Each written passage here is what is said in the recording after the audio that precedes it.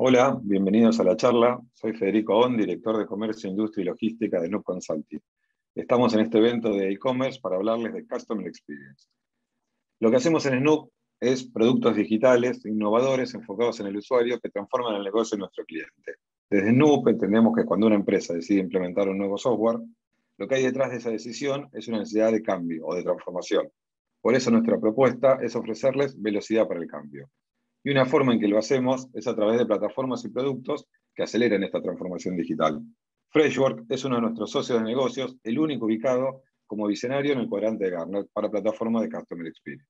Como muchos de ustedes, la última etapa de mi vida como padre y trabajador fue así en la cama. Salir de ahí, de ese estado, en casa, en la comodidad, hiperconectado, con ansiedad de respuestas, con ganas de salir, ha configurado, o mejor, ha acelerado una gran cantidad de costumbres y expectativas que son las que les voy a contar ahora. La idea no es solo contarles cuáles son las necesidades y las tendencias, sino también cómo es posible atenderlas. Las seis tendencias de las que vamos a estar conversando hoy son comercio sin barreras, todos somos un influencer, servicio digital excepcional, venta minorista de experiencias, comercio ético y bienestar de los empleados. Lo primero que tenemos que reconocer es que la frontera entre canales ya no existe más. Las empresas deben ofrecer una experiencia homogénea entre canales físicos y online, integrando redes sociales y streaming. Es que el e-commerce ya dejó de ser una tendencia hace mucho, no es más la novedad. Como ejemplo me gusta comentar siempre, mi cuenta de Amazon tiene ya casi 25 años. Sin embargo, lo que pasó el año pasado fue un acelerador del cambio para muchas empresas, porque se vieron obligadas por el contexto a abrir o potenciar sus canales digitales. Para que se den una idea del crecimiento exponencial que hubo, en un año se creció lo mismo que los 10 años anteriores. Y ante esta realidad, las empresas crecieron de manera despareja, y las que mejor lo pudieron hacer fueron las que ya estaban preparadas para la atención en mi canal. Hoy el journey de un cliente puede iniciar en una tienda física, seguir en WhatsApp y terminar haciendo el checkout de la aplicación mobile. Durante todo ese recorrido, la expectativa del cliente es ser reconocido. Es la de sentir que siempre está interactuando con la misma persona, en el mismo contexto, con la misma situación de compra. Lo que sí pasó el año pasado fue la conjunción de canales sumados al físico y al e-commerce tradicional, como la venta de WhatsApp o la venta por Instagram para pequeños comerciantes que no contaban con un canal digital formal. Y con estas tecnologías pudieron adaptarse prácticamente en horas a vender de manera virtual. La segunda tendencia que quería charlar, y quizás la más importante para nosotros, es todos somos un influencer. Es un tema importante para tener presente el canal digital, la escalabilidad casi infinita, y eso es verdad para lo bueno, las posibles ganancias, y para lo malo. Una mala experiencia en el canal digital tiene un alcance desmesurado, exagerado, se replica un millón de veces. Para resolver este desafío es importante entender cómo cambió el cliente en los últimos años. Las expectativas del consumidor hoy cambiaron radicalmente y ya no es solo un tema de los millennials o de la generación X como se creía antes. Es una característica común de todos los clientes.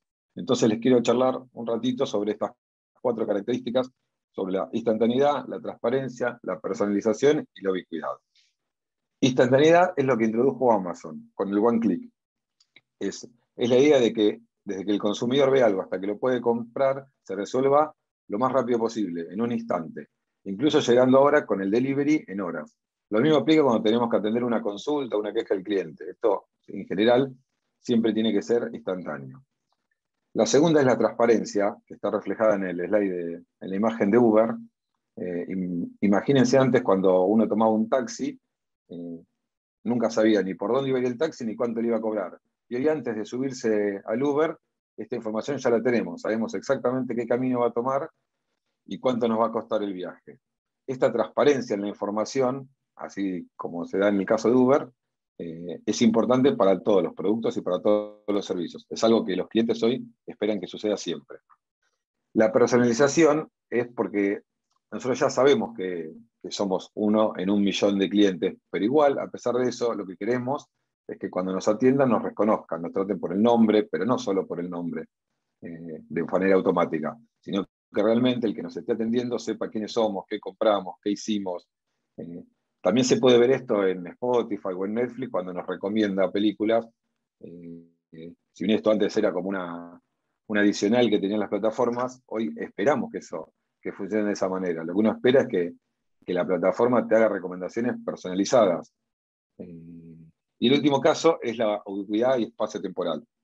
Ahí lo que es importante es entender que el cliente hoy espera tener la misma información, la misma atención la misma experiencia esté donde esté y sea el momento en el que sea. Si quiere hablar a la noche, yo tengo que poder brindarle un canal de comunicación para que él pueda hacer un reclamo, hacer una compra, eh, poner un cambio eh, en cualquier momento del día.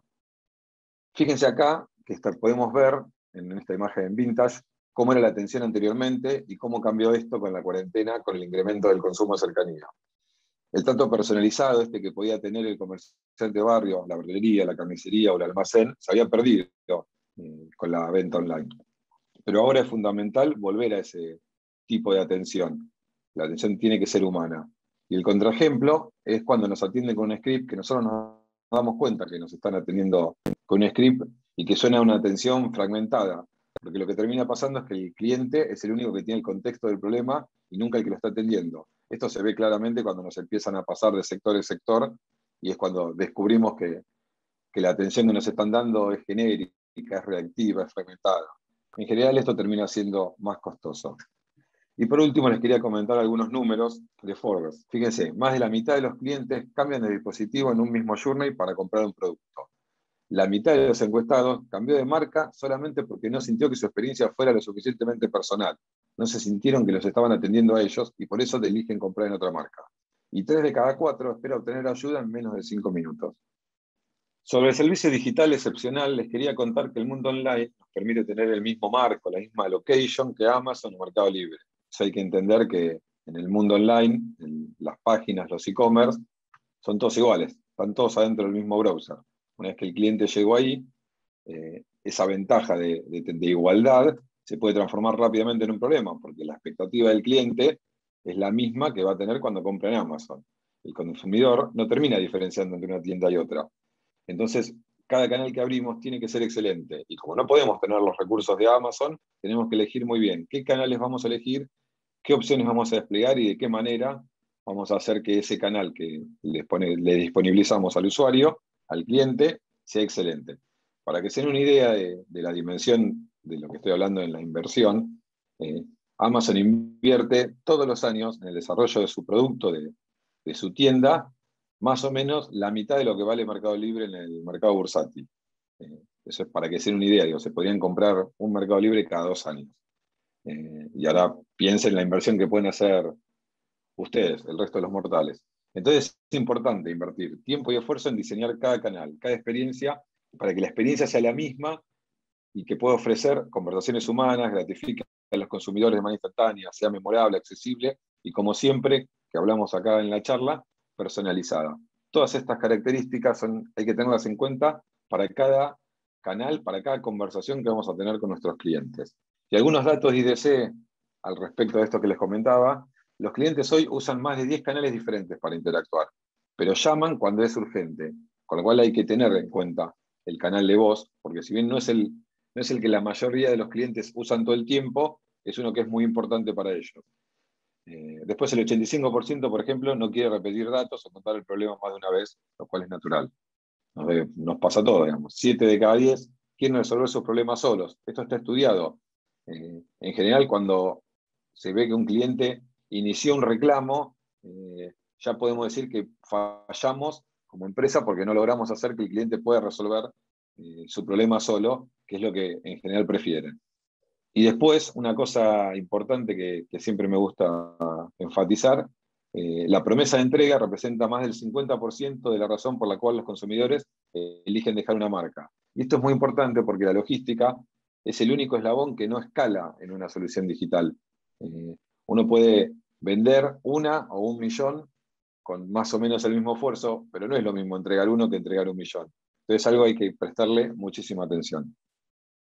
Repasando, ya vimos tres tendencias. Comercio sin barreras, todos somos influencers y servicio digital excelente. Y ahora querías comentarle las últimas tres. Como hablaba al principio, ya no hay barreras entre los canales.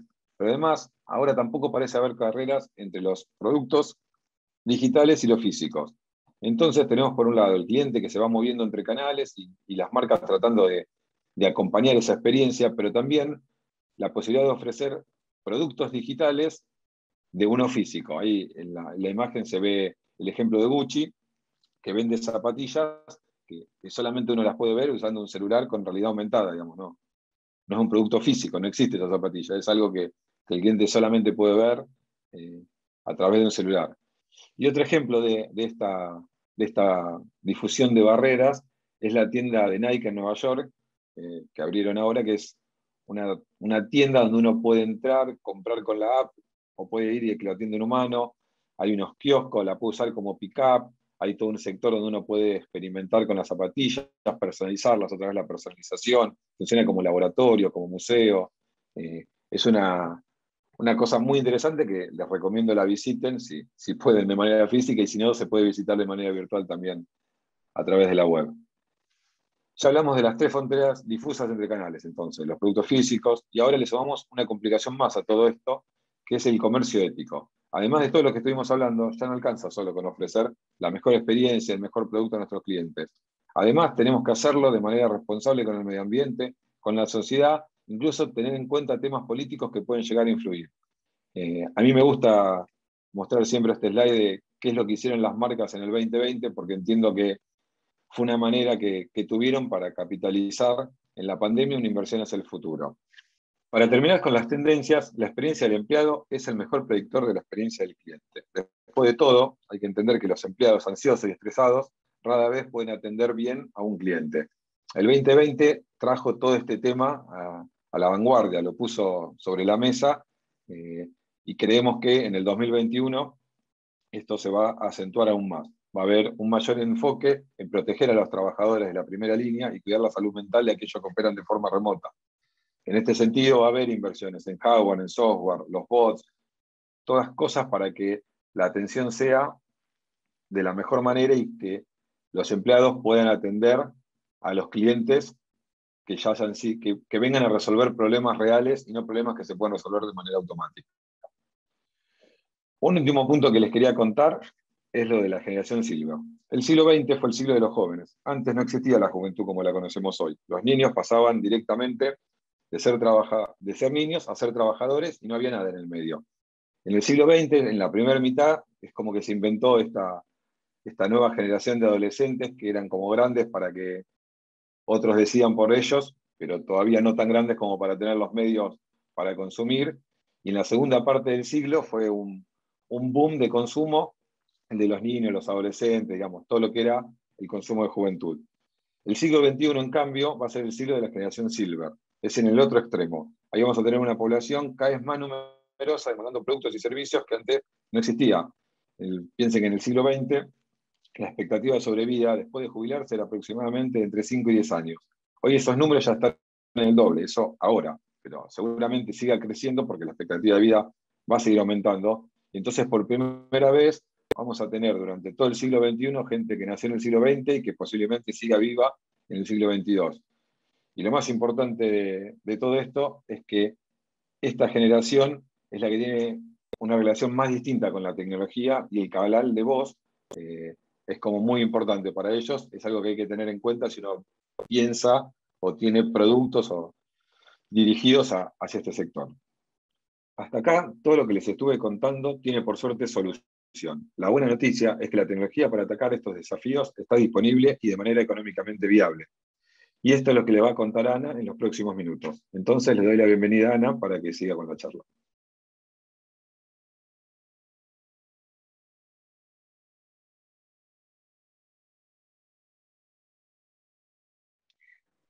Hola, ¿cómo están? Soy Anabela. Y como nos dijo Fefo que hay tecnología disponible, también tengo una segunda buena noticia, que la tecnología nos va a ayudar a que el cambio, la transformación de nuestra experiencia sea rápido y podamos estar entregando una excelencia de servicio a nuestros clientes como la que están esperando de nosotros y que también acompaña la estrategia que ya un poco también nos vino introduciendo Federico, en que estemos listos para brindar autoservicio, tener una mirada 360, tener una experiencia única y brindar servicio proactivo. Entonces, ahora mi misión va a ser empezar a hablar de la tecnología que nos va a ayudar a llevar a la acción estas estrategias. Por un lado, la tecnología principal son eh, las plataformas de atención al cliente.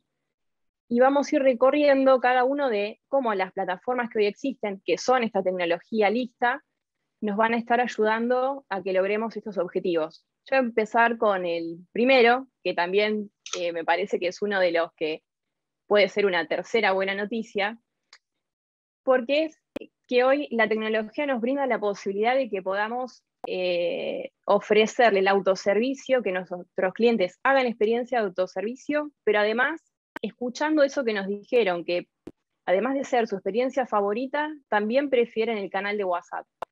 Entonces, hoy podemos hacer que si, uno de nuestros consumidores, por ejemplo, eh, tiene una duda de en qué horario estamos abiertos, porque con esto de la pandemia mucho cambiamos el horario de apertura de los, de los negocios en físico, ya se están animando quizás a ir a una tienda y dejar de hacer el pedido de delivery. Por ahí nos pueden ya eh, hacer una experiencia de self-service para esa pregunta, qué horario de atención tenemos, sobre el canal de WhatsApp, que es este canal favorito, y en el que consigan autoatenderse a esa duda y que digan si abrimos, eh, tenemos un horario reducido, y de esa manera unimos esas dos necesidades y le podemos dar solución. Pero eso no es todo lo que podemos hacer hoy eh, sobre el canal de WhatsApp para el self-service. También podemos ir por experiencias de atención un poco ya más complejas, poder hacer todo un proceso de compra completo, eh, hacer gestiones de devolución, de cambio, de cancelaciones, de seguimiento de pedido, sin necesitar ayuda de nuestros vendedores. Todo esto, ¿cómo lo logramos? Incorporando otro concepto más, que es, bueno, la plataforma de atención al cliente nos permite integrar WhatsApp de una manera, eh, de esta manera con, eh, como canal favorito y brindar autoservicio, pero de ¿Con qué componente? Con los asistentes, eh, los asistentes virtuales que se están incorporando en, el, WhatsApp y en los demás canales para hacer esta experiencia de autoservicio.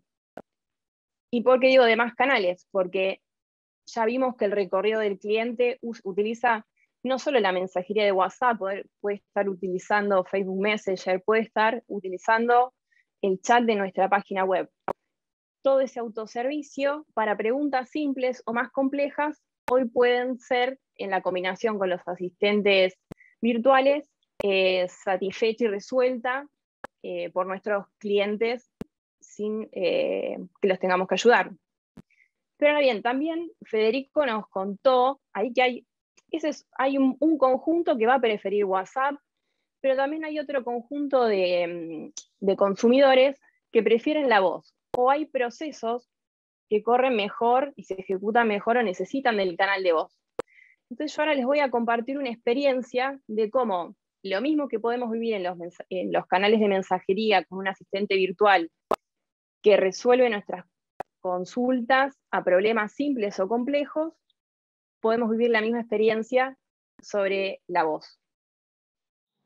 Nuestros operadores están ocupados. Espere en línea, por favor. Ingrese uno para hamburguesa de carne, dos para hamburguesa de pollo, tres para hamburguesa de cordero, cuatro para hamburguesa vegetariana.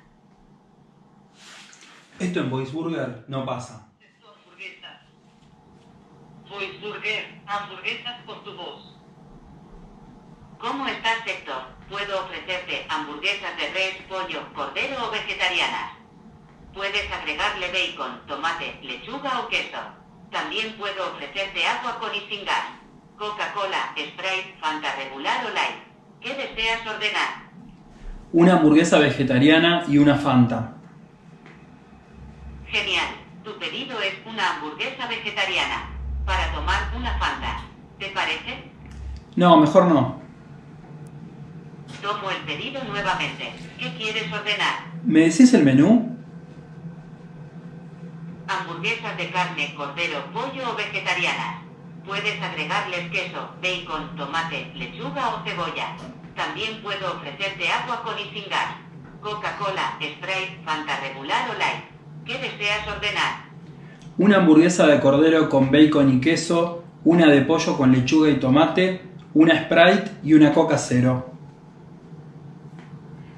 Buena elección. Tu pedido es una hamburguesa de cordero con bacon y queso y una de pollo con lechuga y tomate. Para tomar una Sprite y una Coca cero. ¿Es correcto? Sí, perfecto. Son 810 pesos. ¿Quieres pagar con la tarjeta que termina en 7314? Sí, dale. Muy bien, lo envío a tu dirección de Julián Álvarez. Sí, por favor. Tu pedido va en camino. Que lo disfrutes. Y acá nuestros sistemas de pedidos. Este es un pedido viejo. Y ahora cuando actualice, tenemos el pedido nuevo.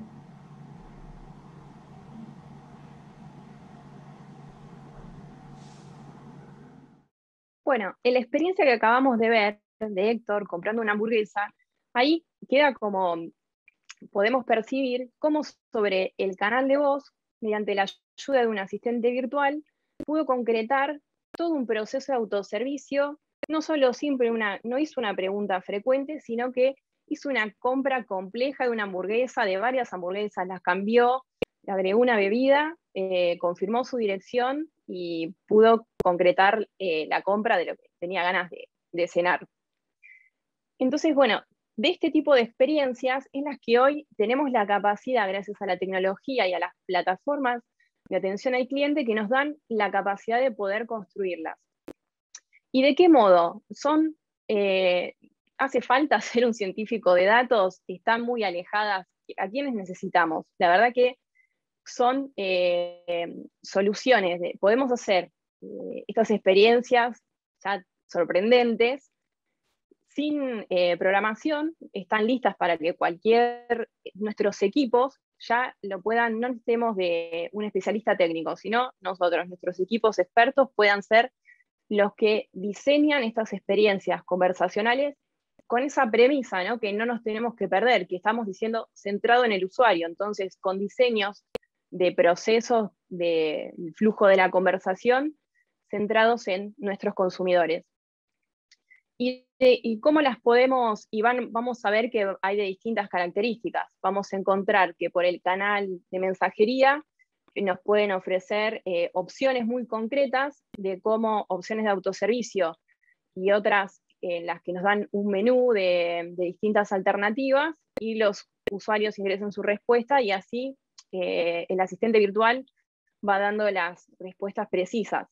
Pero también puede ser que haya experiencias basadas en intenciones, que yo pida una hamburguesa de un modo y con ciertas palabras, por ejemplo, puedo decir, eh, mandame mi hamburguesa favorita y otro diga, eh, tenés la hamburguesa que me como siempre, que pido siempre, y bueno, y ante esa, por ahí, esa intención de dos usuarios distintos, el asistente virtual de todas maneras va a entender qué es lo que le estamos queriendo decir, que en definitiva es lo mismo, que nos hagan el envío de lo que pedimos tradicionalmente. Entonces, bueno, como para resumir en esta parte, no solo podemos tener esas experiencias eh, en los canales, en el canal de WhatsApp, sino que también en la experiencia que hace el consumidor en, nuestro sitio online, podemos incorporar un chat en la web por el cual también podemos eh, incluir un asistente virtual o en Facebook Messenger y, o en las demás redes de mensajería en las que nuestros, eh, en función de los gustos y preferencias de nuestros consumidores, podemos incluir un asistente virtual capaz de hacer estas experiencias. Ahora, es decir, entender la potencia de la tecnología. No quiere decir que tengamos que hacer procesos sumamente automatizados nosotros sabremos poner ahí el lugar hasta dónde vamos a dejar que un asistente virtual tan capaz de hacer procesos completos intervenga y cuándo, por cuestiones quizás de, procesos más complejos o porque nosotros no querramos perder eh, participación en, esa interacción y relación, derivemos la conversación con eh, un humano con, uno de nuestros vendedores o el personal de soporte, atención, ya que más humano que un humano para ciertos problemas eh, nunca, es, nunca va a haber, ¿no? Siempre vamos a necesitar, en definitiva, en algún proceso, requerir de nuestros equipos expertos.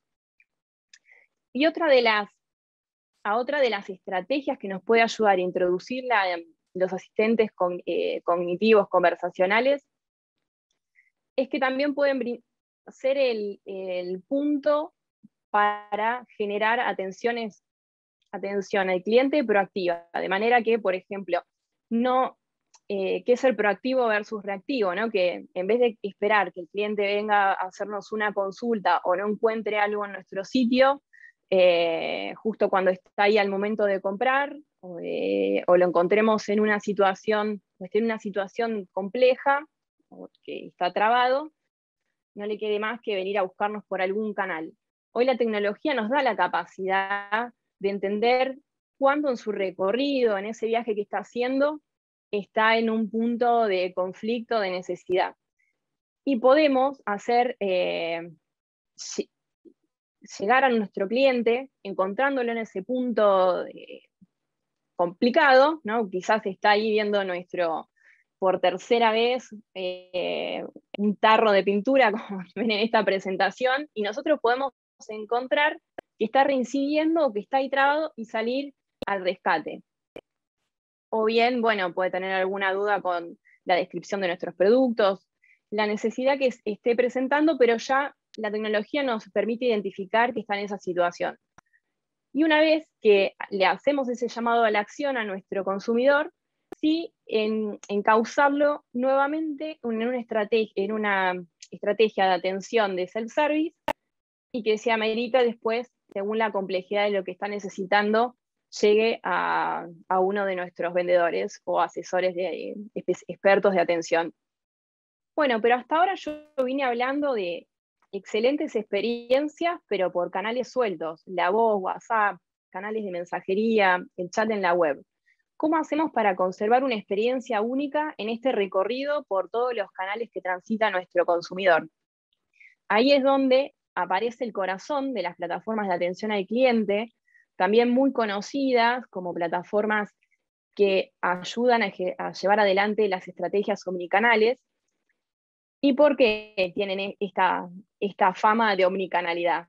Porque es en, su razón de ser, es lo, que mejor saben hacer las plataformas de experiencia de cliente, es ayudarnos a conectar las interacciones de los distintos canales en un único lugar, de manera que ya haciendo entrar las interacciones de todas las redes, los canales tradicionales, chat, mensajería, en, un único, en una única plataforma, ya empieza a construir que quien está por detrás en esa única plataforma, ¿quiénes son? Nuestros equipos. Entonces, empezamos a hacer, a poder poner en disposición todas las características que nos da la plataforma omnicanal para que en cada interacción que nosotros tenemos que hacer una comunicación con nuestros clientes por los distintos canales, conservemos procesos de atención unificados y homogéneos.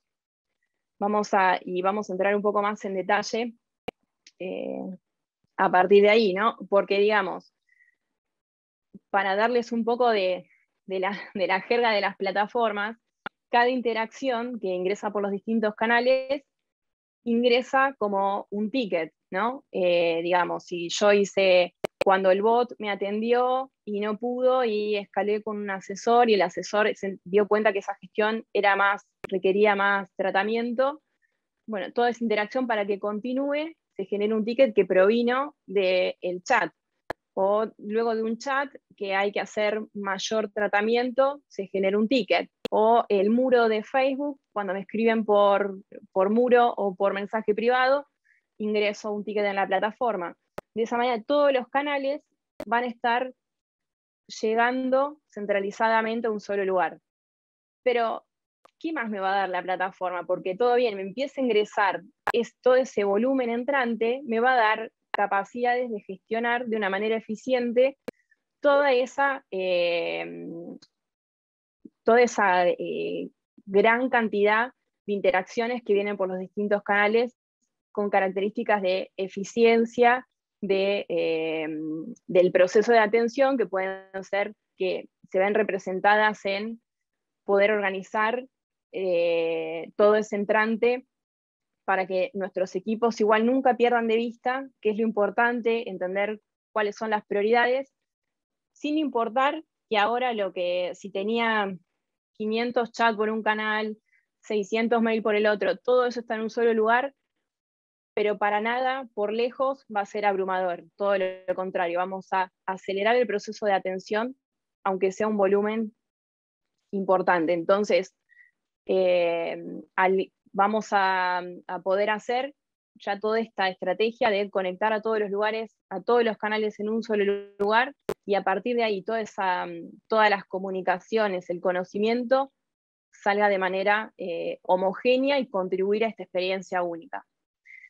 Pero además, ¿qué más me da entonces esto de centralizar? Dijimos, del otro lado está el equipo atendiendo. ¿Y qué recibe el equipo de atención? Que todo ese recorrido que ya se conectó, la plataforma omnicanal me permite que, por ejemplo, si Héctor, que hizo esa experiencia en la voz, de pronto le quedó alguna consulta, hizo, se compró la hamburguesa por la voz, pero le quedó una consulta y mandó un WhatsApp, el agente que lo está atendiendo dentro de la plataforma omnicanal va a poder ver ese recorrido de Héctor por los distintos canales, por la voz y por WhatsApp, y tener una mirada ya, y si Héctor se vuelve a comunicar y hace una tercera interacción, ya el, especialista de atención va a saber todo ese recorrido, va a tener datos personales, de manera va a tener la historia de la conversación y también va a tener el historial de las compras de Héctor, de manera que ya si, por ejemplo, soy yo, Ana, la asesora de Héctor, voy a tener toda esa mirada completa de lo que le estuvo pasando en su recorrido previo y en su viaje como cliente. Y esto no va a ser solo con Héctor, va a ser con cada uno de nuestros clientes. Entonces, ya es llevar el Customer Journey súper personalizado a la realidad de cada uno de nuestros consumidores. Entonces, el, efecto de conectar todas las herramientas en una sola plataforma, eh, todos los canales en un solo lugar, es para termina siendo otro de los factores que le van a dar ese empoderamiento a nuestros equipos para una atención de excelencia. Ahí es donde si vienen, empiezan a tener relación las estrategias. ¿Y qué otros atributos tiene que tener la plataforma de atención? permitirle los, eh, todas esas características que hacen, que les facilitan también el trabajo a nuestros equipos, que van a seguir nuestras metas de excelencia, nuestros objetivos, y que nos acompañan en la estrategia que vamos a definir, pero necesitan tener las herramientas que les, les ayuden a enfrentar estos desafíos. Entonces, la plataforma omnicanal va a permitir que nosotros podamos eh, hacer eh, procesos de onboarding basado en eh, asistentes conversacionales que también asistan a los agentes en sus primeros pasos de atención sin perder la experiencia de servicio o que utilicen dentro del entorno de atender a un cliente conocimiento de nuestros procesos de atención y de nuestros productos como una de las, de las virtudes que tiene cuando tenemos equipos dinámicos o cambiantes, que no perdamos esa calidad de servicio y una rápida eh, puesta en, acción de nuestros eh, equipos de atención. También vienen, la verdad es que vienen plagadas de características, están pensadas para que los, nuestros colaboradores puedan hacer una atención eh, ágil, simple, que tengan una experiencia también clara y puedan tener foco en qué es lo que urge, cuál, dónde están las cosas importantes, sabiendo que estamos manejando todos nuestros canales. Entonces, toda la experiencia de usuario de una plataforma omnicanal está centrada en que podamos hacer procesos eficientes de atención al cliente. Y también qué es lo que nos van a estar eh, resolviendo en pos de que nuestros equipos también trabajen animados y ayudar a esa felicidad de los colaboradores, es quitarles eh, la carga de todo lo que sea repetitivo, de bajo valor, apoyado en la potencia de automatizaciones.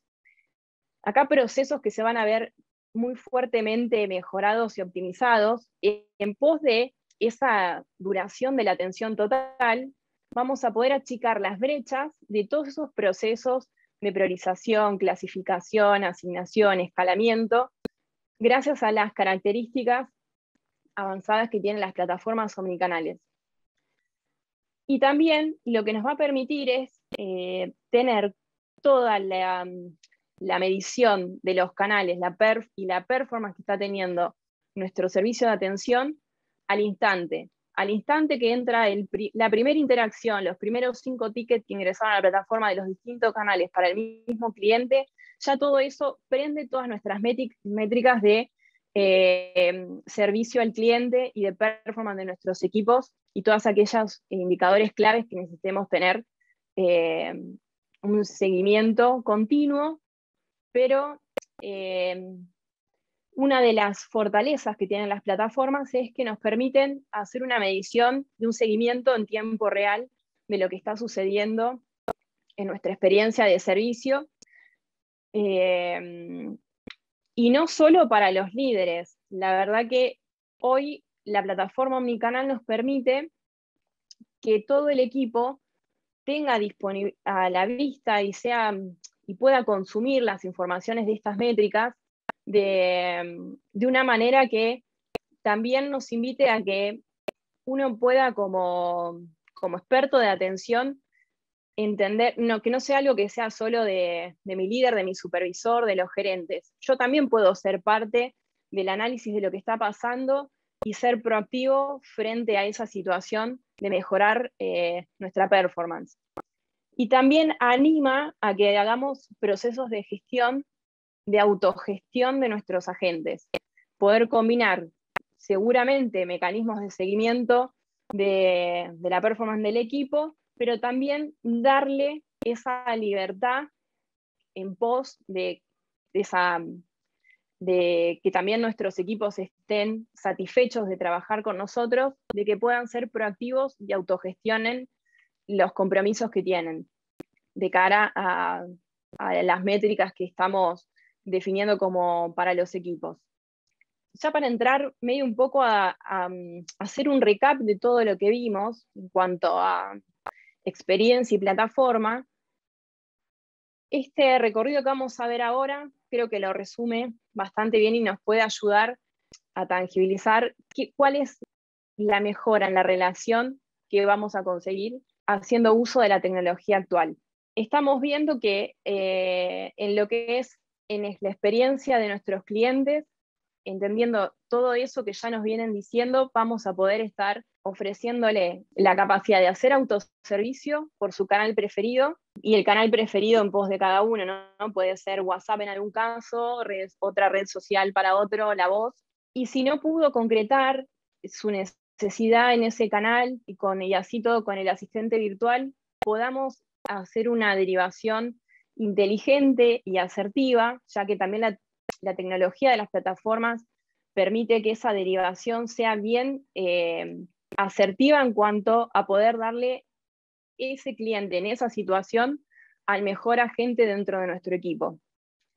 Y una vez que esos agentes lo reciben, así sea el, eh, agente que toma el chat, tiene ya a su disposición la vista de esa, toda la información del cliente para, dar, para hacer que en definitiva el mejor siguiente paso para la resolución yo voy a saber de dónde vino, si estaba, si estaba en una situación de problema previo, o sea, si ya puedo entender que eh, está enojado, está bien, es la primera vez que se contacta con nosotros, qué cosas miró antes de llegar eh, a que yo le esté atendiendo. Todo eso nos da una potencia para poder ser eh, lo que nos planteamos en lo teórico, ¿no? Es poder decir, bueno, quiero ser más eh, considerado, estar entendiéndolo, poder entender lo que le pasa y ser eh, sin perder esa empatía. En, en todo caso, también tenemos toda la información suficiente para atenderlo de la manera más personalizada y acorde a este tipo de cliente. Luego, si la experiencia avanza y llegamos a una situación de tener que llegar a lo que son generar un ticket por los canales, cada gente en su lugar, cualquiera que dentro del equipo reciba al cliente y tenga que establecer una interacción, va a recibir este contexto 360. Si nuestros, si nuestros agentes necesitan un onboarding, van a tener la capacidad, las mismas capacidades que tienen los clientes de hacer self-service y aprendizaje, están a disposición en la plataforma para nuestros equipos. Y hay veces que hay gestiones más complejas que también podemos trabajarla de manera colaborativa, haciendo escalamientos de ticket, dividiendo tickets de un ticket secundario eh, y distintas estrategias que nos van a poner en contacto con los demás equipos, sean el equipo de ventas, comercial, marketing, cualquiera de ellos puede llegar a participar u otros en la resolución de un problema y la herramienta nos permite que este, trabajemos eh, efectivamente dentro de la misma solución en pos de, llegar juntos a dar esa respuesta eh, que nos ayude a achicar los tiempos de respuesta con la respuesta que está necesitando nuestro cliente. Y luego siempre vamos a poder sacar la interacción y seguir comunicando, seguir comunicándonos con el cliente por este canal preferencial eh, y al final de la interacción, siempre, siempre después de toda interacción, luego de una conversación con el asistente virtual, o así sea un chat, o después de un ticket, saber cómo se sintió con nuestro servicio a través de las encuestas de satisfacción o de NPS, eh, del nivel de recomendación que tienen con nosotros. Todo lo que la voz de nuestro cliente, la performance del servicio, la performance de los colaboradores, todo eso lo reciben eh, los líderes en tiempo real para poder eh, tomar decisiones instantáneas, inmediatas, con información actualizada y que podamos encontrar eh, oportunidades de mejora continua. ¿no? Nosotros lo que vamos a hacer ahora, si todavía estamos en un paso previo, incorporando una plataforma omnicanal, es hacer una gran mejora en todo nuestro servicio, pero que es continuo. Eh, son plataformas dinámicas y nosotros podemos, luego de plantear, cubrir estos grandes objetivos, seguir mejorando a partir de las, los análisis en tiempo real que nos ofrecen. Entonces, para concluir, la tecnología de hoy está lista y nos permite estar listos a nosotros también para recibir al cliente y atenderlo con esa experiencia de servicio que nos están eh, demandando. Bueno, pero la verdad es que nos quedaron muchas cosas sin, poder contar y seguramente ustedes tengan eh, preguntas o dudas respecto de todo lo que vimos hoy. Así que los esperamos en el stand de Freshworks para que las abordemos juntos y bueno, y conversemos de cómo construir clientes de por vida.